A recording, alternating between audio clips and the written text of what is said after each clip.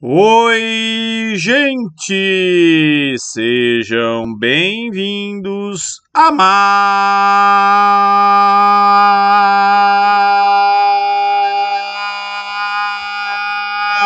uma aula de geografia. E começando uma nova série aqui no canal sobre Oriente Médio, né? Então esse vai ser aí o primeiro vídeo dessa série, né, sobre esse pedaço do mundo, né? E é, a ideia hoje é falar um pouquinho sobre a localização do Oriente Médio, né? É, tem bastante coisa aí para gente dizer, né? Assim, acho que todo mundo, de alguma forma, né, sabe ou tem ideia em que lugar do planeta né, tá o Oriente Médio. Mas né, o que existe de controvérsia, onde, onde ele começa e onde ele termina, né, é algo que a gente vai discutir aí ao longo dessa aula. Então vamos lá. Bem, primeiro, né, o nome desse lugar. É, dependendo do livro, dependendo do autor, autor, né? Vocês podem encontrar aí algumas expressões, né? Oriente Médio é a mais comum aqui no Brasil, mais comum também no mundo de língua inglesa, mas tem alguns livros que às vezes vão se referir a essa região do mundo como Oriente Próximo, né? É, e aí já tem uma diferença de nomenclatura, né? É, só que essa diferença de nomenclatura ela também é geográfica, tá? Eu vou abrir aqui o Google Earth para a gente poder conversar um pouquinho melhor a respeito aí desses nomes, né? É, hoje, né, a gente sabe que, por exemplo, a gente tem o meridiano de Greenwich, e o meridiano de Greenwich ele divide a Terra né, em hemisfério ocidental e hemisfério oriental. Né? Obviamente, esse conceito de Oriente Médio, né, é, ele não tem a ver com Greenwich, já que, tipo, a, a determinação do meridiano de Greenwich é um negócio final do século XIX, e o, esse nome, né, Oriente Médio, também é uma denominação ali do século XIX. Mas se a gente for seguir a risca, né, a linha do, do meridiano de Greenwich, países como né, Alemanha estariam na, no mundo oriental, né? E não é bem assim. Se a gente for olhar para a Europa, vocês sabem que existe Europa Ocidental e Europa Oriental, mas ainda assim, né, esses países aqui estão na Europa Oriental, mas é Europa, né? O Oriente Médio envolve, né, é, Oriente, né, envolve o continente asiático. Né? Se a gente está falando a palavra Oriente sozinha, geralmente né, a grande referência era a Ásia, e aí a gente tinha né, os povos do extremo Oriente, que seria, por exemplo, japoneses, chineses, os coreanos, né? Coreia também é um país relativamente novo, né? E aí, o que seria esse meio do Oriente ele foi mudando aí ao longo do tempo, porque, por exemplo, existiam as Índias britânicas aqui, né? Então, aquilo que estava né, do lado esquerdo das Índias britânicas seria, né, o Oriente Médio, também chamado de Oriente Próximo, né? Próximo porque era parte do Oriente mais perto da Europa. Mas além disso, né, se a gente for voltar aqui né, para os nomes, é, uma outra maneira da gente se referir a essa região é a Ásia Ocidental, né, porque fica né, no oeste do continente asiático, né, mais precisamente no sudoeste da Ásia. Tá? Mas além disso tudo, né, é, a gente se for procurar no Google, né, ó, Google Imagens, né, olha os mapas que aparecem. Vocês vão encontrar, né, mapas muito distintos demarcando aí território do Oriente Médio. Né? Eu vou mostrar alguns deles aí para vocês que são bem diferentes. Ó. Aqui eu peguei cinco mapas do Oriente Médio. Notem que nesse primeiro ele inclui o Egito, que está no continente africano. Eu já vou discutir com vocês por quê. E esse daqui, ele não vai incluir o Afeganistão nem os países aqui da Ásia Central, Cazaquistão, Turcomenistão, Tadjiquistão e os outros estão. É, esse daqui, ele inclui o Chipre como parte ali do, do Oriente Médio, aliás, aqui também tem o Chipre, né? Mas notem que ele não vai incluir o Egito como parte do Oriente Médio, nem o Afeganistão. Né? É, esse daqui, ele inclui o Egito e o Afeganistão. Né? Notem que o Afeganistão nesse não está incluso. Né? Nesse daqui inclui o Afeganistão, mas não inclui o Egito nem o Chipre. Né? E aqui, ó, além né, da, do Egito, ele inclui aqui ó, países né, do Grande Oriente Médio, né, e que é uma definição criada ali pelos caras nos Estados Unidos para apoiar ali política externa, que inclui ó, países até do litoral atlântico do continente africano, né, e bastante países da África. Né? É, então a gente tem que tomar cuidado aí com com essa expressão Oriente Médio. Às vezes, dependendo da pessoa com que a gente está falando, ela vai estar tá se referindo né, a uma unidade territorial que pode ser bem diferente daquela que a gente está pensando. Tá? É, bem,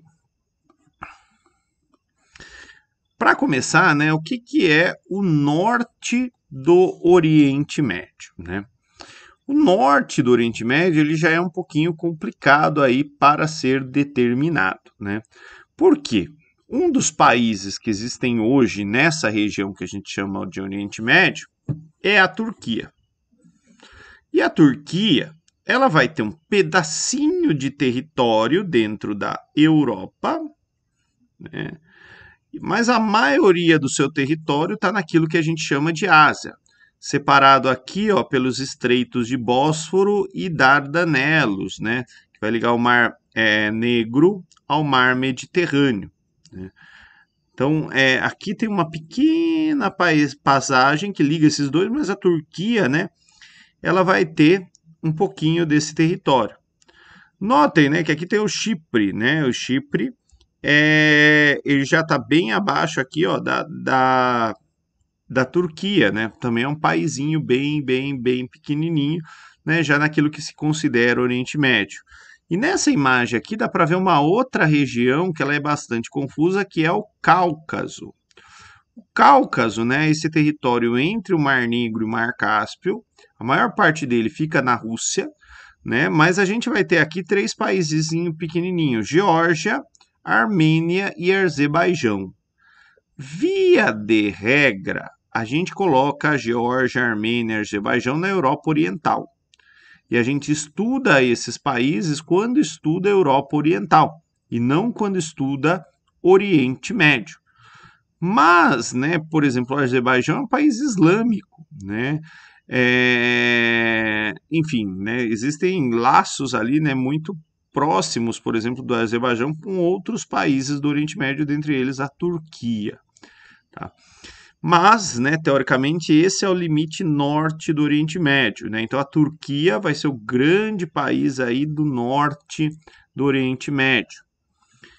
Bem, se a gente for olhar as aulas de história, né, lembrar um pouquinho, a Maomé vai lá, funda a religião islâmica e depois né, outros é, religiosos políticos islâmicos expandiram né, a fé islâmica para outras regiões além daquilo que a gente chama de Oriente Médio. Né?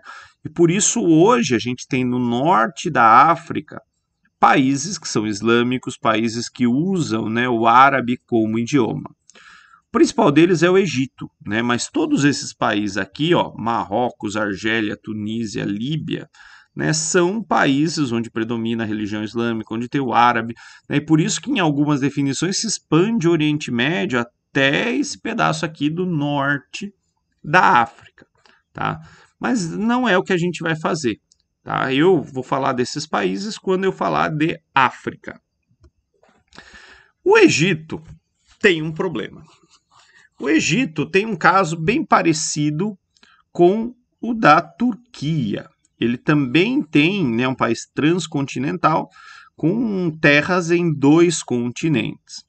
Aqui, se vocês olharem do lado esquerdo, né, é o mapa físico do território egípcio, marca aqui as altitudes, né? Então, onde está verde é mais baixo, onde está quase esbranquecido é mais alto, né? Aqui dá para ver o Rio Nilo. E aqui nesse cantinho ó, tem a Península do Sinai. Essa Península do Sinai, teoricamente, já é Ásia. Então, teoricamente, aqui, ó, nesse ponto onde, tá passando, onde passa depois o canal de Suez, que eu vou falar dele mais para frente, é onde né, termina o território egípcio africano e começa o território egípcio asiático. Tá? Então, é, esse pedacinho aqui do Egito, que é o deserto do Sinai, a península do Sinai, já está na Ásia. Tá? Politicamente, é uma, um território bem integrado ao Egito. Né? Inclusive, ó, tem estradas, ó, tem toda uma infraestrutura até o canal de Suez, né? até um território ocupado ali né, há bastante tempo pelo Egito. Né, foi Israel tomou durante a guerra acho que dos seis dias, depois devolveu para o Egito, né, um plano internacional, todo mundo reconhece esse território hoje como egípcio. E aí, né, por conta disso, é, eu vou incluir o Egito né, no continente africano. Eu não vou falar muito de Egito falando de Oriente Médio, com exceção né, de falar aqui do deserto do Sinai, e ocasionalmente, né, se eu for falar aí do povo hebreu, Israel, que tem, tem algumas ligações.